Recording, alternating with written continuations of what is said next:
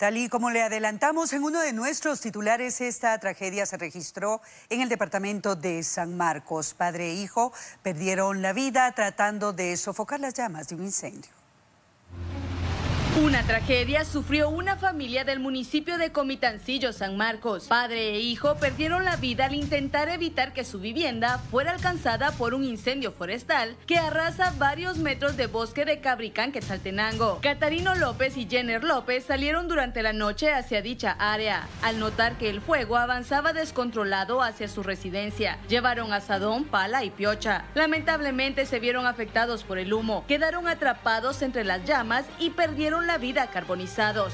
Socorristas fueron alertados, lograron recuperar los cadáveres. La familia lamentó la tragedia. El fuego avanza descontrolado en la zona boscosa y podría afectar el departamento de San Marcos. Autoridades municipales se encuentran en alerta. Socorristas trabajan en el lugar para controlar el fuego. En lo que va de esta temporada, autoridades de Conred contabilizan 969 incendios forestales. Más de 40 se encuentran activos. Los departamentos más afectados son Quiché con 161 siniestros Guatemala con 138 y Huehuetenango con 114. Más de 6.400 hectáreas han sido consumidas.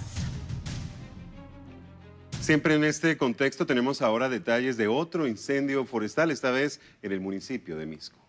Vital Fuerte Bebible ahora con rico sabor naranja presenta la noticia nacional. Varias llamadas de alerta ingresaron a la cabina de los bomberos voluntarios alertando sobre un pavoroso incendio forestal en la colonia Villa Flor, zona 6 de Misco. Los socorristas se trasladaron al lugar y trabajaron con la ayuda de vecinos para controlar el fuego que amenazaba con propagarse a viviendas aledañas. Utilizaron más de 3.000 galones de agua para sofocar las llamas. Los socorristas indicaron que en varios puntos del país hay incendios activos. Si usted ve un siniestro, comuníquese de inmediato al 119 de Conred, 122 de bomberos voluntarios, 123 de bomberos municipales o el 1554 de bomberos municipales departamentales. También recuerde no utilizar zonas boscosas para la quema de basura, ya que una chispa puede terminar en tragedia.